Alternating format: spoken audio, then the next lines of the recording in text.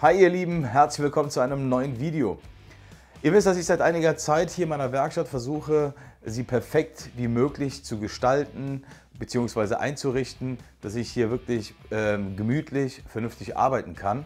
Was mir aber im Moment nicht gefällt, ist nebenan die Werkstatt oder die andere Hälfte meiner Werkstatt und zwar da, wo das ganze Holz gelagert ist oder einfach rumsteht, wie auch immer. Da soll auf jeden Fall ein bisschen Ordnung rein und dafür werde ich jetzt erstmal die Kamera schnappen und euch mal zeigen, wie es drüben aussieht. Hier befindet sich die peinliche, unschöne Ecke. Da werde ich jetzt den Wagen hinstellen, schön auf Rollen. Das brauchbare Material schön einsortieren. Ich habe auch noch hier jede Menge kleinere Abschnitte, Massivholz. Ja, da werden wir mal sortieren, gucken, was man nutzen kann und was nicht. Legen wir los, schneiden wir mal unsere Platten zu. Dafür nehme ich mir jetzt mal ein so eine Multiplex-Platte, schmeiße es auf die Werkbank. Ah, ja, ja, ja, ja. So, die Platte wird jetzt in drei Bereichen unterteilt. Hier kommt die Rückwand hin, wo dann später die Platten schön angelehnt, angelehnt werden können. Der mittlere Bereich, da werden Zwischenböden eingesetzt, um kleinere Stücke reinzulegen. Und der vordere Bereich wird dann für etwas längere Leisten und, und, und, um die dann ja, senkrecht aufzustellen. So, dann machen wir uns hier mal die Markierung hin. Da, wo die Platte nämlich verschraubt werden soll. So.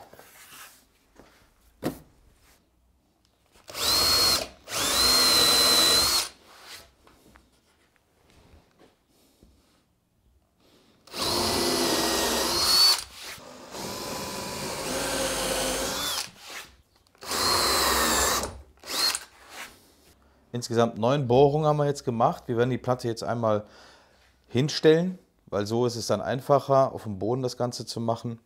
Und dann schrauben wir das fest. Dann nehmen wir mal unsere Platte, stellen sie dann hier dran.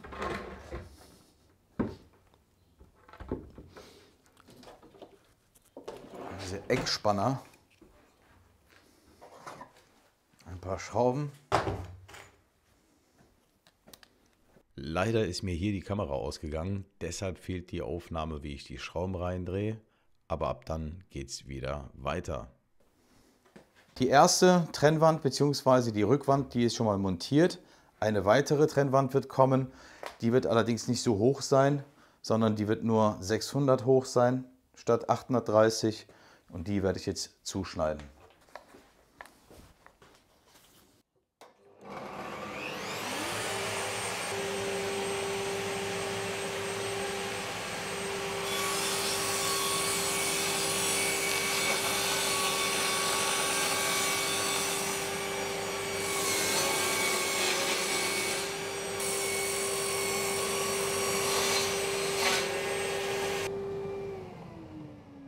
Zwischenraum, ja, machen wir 400.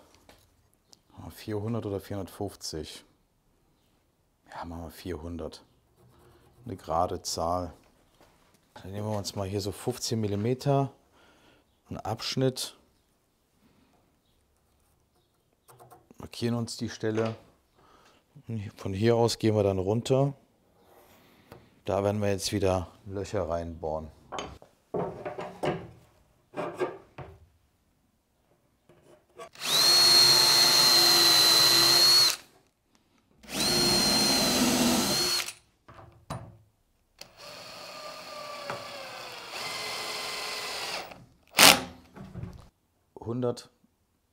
157. Mit den Korpuszwingen funktioniert das natürlich einwandfrei. Da kann man das nämlich unten abmessen, festziehen, festschrauben.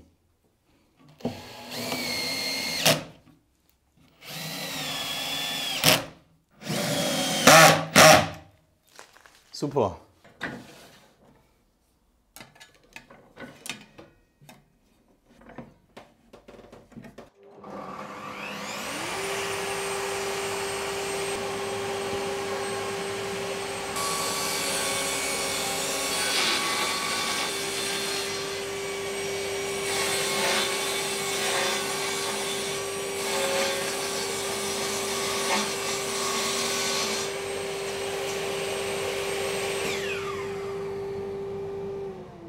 Mal unsere erste Platte und die nächste Platte würde dann hier hinkommen. So stelle ich mir das vor.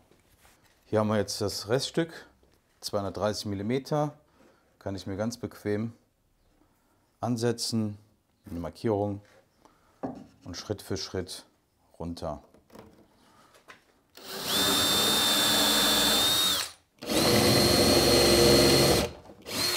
Jetzt nehmen wir uns hier ein weiteres Reststück. Das hat das Maß 223, das ist nämlich das Innenmaß. Das werden wir uns hier ansetzen. Einmal klack. Ja, super. Super. Jetzt fällt es genau da unten hin, wo ich nicht drankomme, ey. Och nein, ey, das kann doch nicht. Wie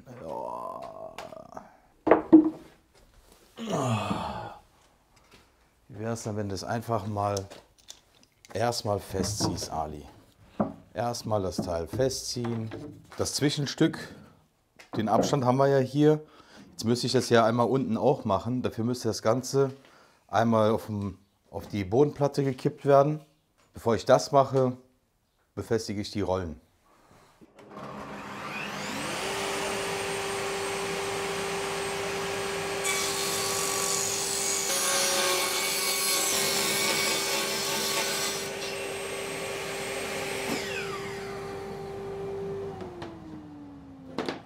So, damit sich der Boden eventuell durch das Gewicht nicht verbiegt, habe ich mir gedacht, schraube ich da ein paar Streben dran. Die Strebe darf nicht höher sein als die Rollen, sonst wird das Ganze ja gar nicht funktionieren. Ja.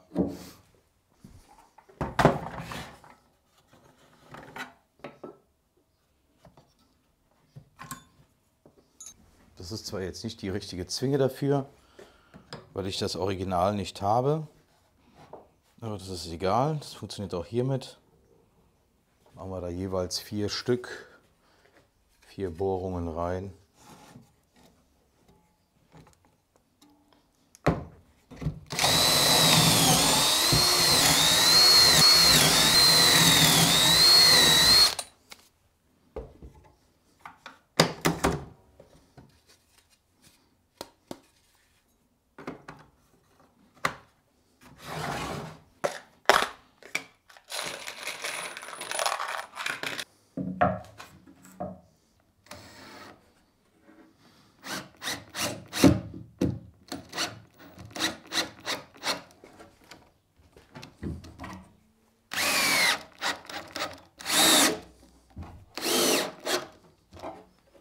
Das ist bombenfest.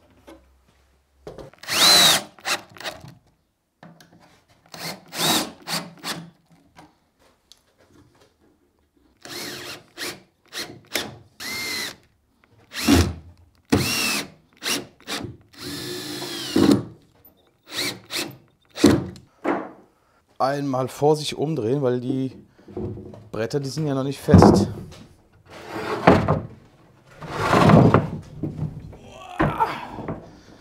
Cool, genau so habe ich es mir vorgestellt. Es ist natürlich noch nicht fertig.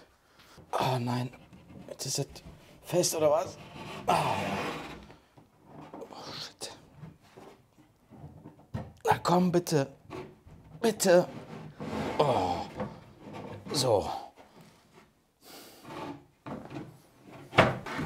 Oh. Schrauben. Hä? Irgendwas stimmt da nicht. Den anderen habe ich verkehrt rum gemacht. Boah. Der andere ist verkehrt rum drauf gewesen. So, jetzt ist aber richtig.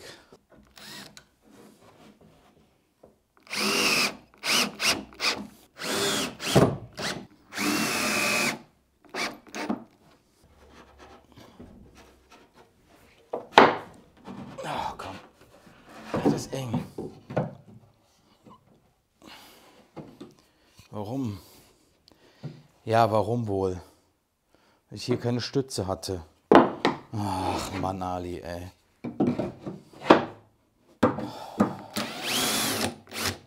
Das war jetzt blöd von mir.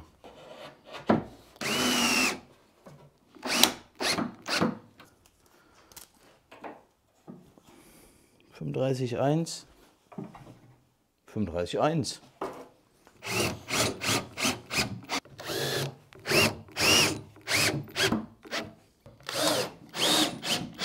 Das Grundgerüst steht schon mal. Geil. Hier kann man dann die kürzeren Stücke vielleicht drauf schmeißen. Ich weiß es nicht. Das werden wir später sehen. Es steht auf jeden Fall schon mal. Und ich muss sagen, stabil ist es auf jeden Fall. Und ich glaube auch nicht, dass sich da irgendetwas durchbiegt. Dadurch, dass wir jetzt die drei Streben unten dran haben. Ach, Mist, ey. Scheiße. Hm. Mist. Ach Mann, ey, ich hätte die längere nehmen sollen. Ja, ich habe ursprünglich eigentlich die Breite auf einen Meter geplant. Es sollte nur ein Meter breit sein. Da habe ich mir gedacht, komm, bevor ich da jetzt alles zersäge, lasse ich die Plattenlänge. Jetzt reichen mir diese Alustäbe nicht aus. Also nicht die Menge, sondern die Länge. Mache ich ja erstmal die zwei 600er Stücke. Hier haben wir ein unserer Bretter sollte nämlich hier auf die Seite. Das andere dann links davon. Ja, so in etwa. Und dann sollte da, sollten da Streben zwischenkommen. Hier diese, diese Alu-Röhre.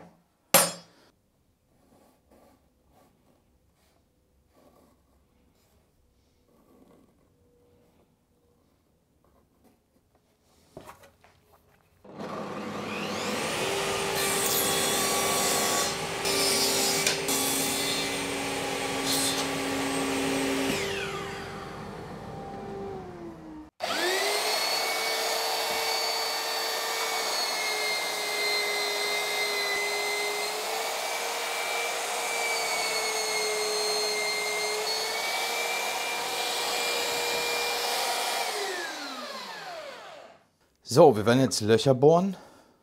6 mm. Damit die parallel zueinander sind, legen wir die jetzt so an. Wir machen uns die Markierungen. Ja, machen wir hier ab 5 cm, 10 cm, 1, 2, 3, 4, 5. Nehmen uns hier unseren Anschlagwinkel, übertragen die Linien bzw. die Markierung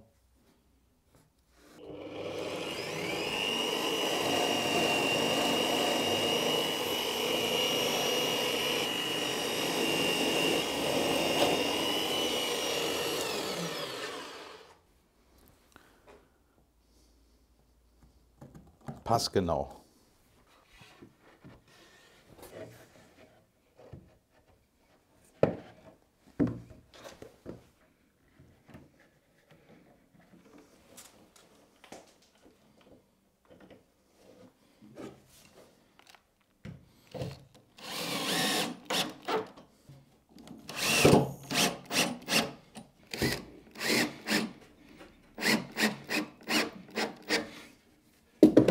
Mittig von der linken Platte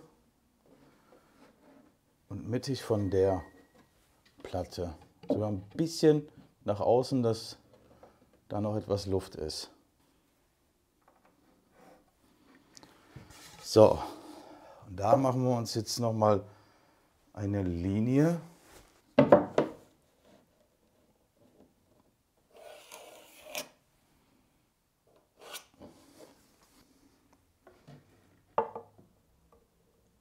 Stecken auf einer Seite den Stab rein, auf der anderen Seite ebenfalls. Jetzt ist natürlich die Herausforderung, die Stäbe da reinzustecken. Falsches Loch. Nein, nein, nein, nein, nein. Ja, Mai, geh doch rein, ey. Nein. Ich habe doch keine fünf Hände. Wie soll ich das denn machen?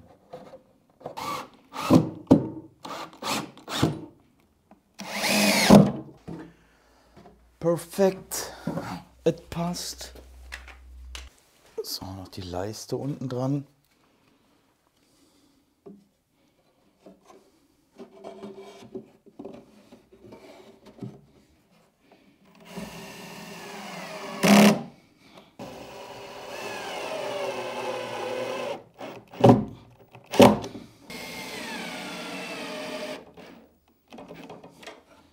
Es hat echt super geklappt. Das Material hat komplett ausgereicht. Es sind nur noch diese zwei Streifen übrig geblieben. Oder vielleicht noch ein, zwei kleine Stückchen, die jetzt gerade im Mülleimer liegen. Ich bin froh, dass ich das jetzt gebaut habe und bin gespannt, wie es morgen dann weitergeht. Ich werde nämlich da die Ecke morgen komplett mal weg, leer räumen, den Wagen dorthin stellen und alles, was ich brauche, hier drauf packen. Ich mache jetzt Feierabend und ihr seht mich gleich wieder.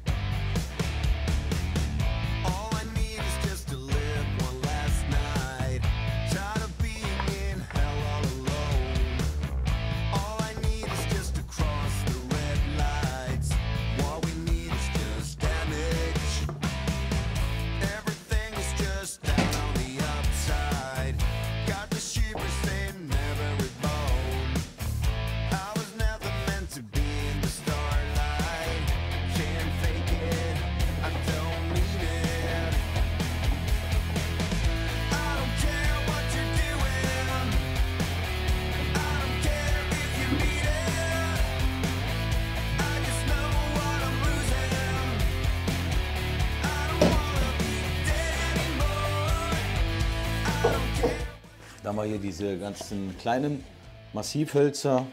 Das sind schöne Abschnitte, die man in die Seite legen kann.